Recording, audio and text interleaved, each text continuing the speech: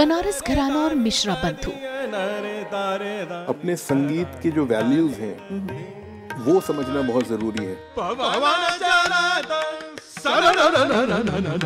कि अगर हम खाना खाते हैं तो वैसे गाना भी गाना है। जिस दिन गाना नहीं गाया उस दिन खाना खाने के हकदार नहीं है। मिली शख्सियत में रितेश और रजनीश मिश्रा से सिर्फ़ राज्यसभा टीवी पर।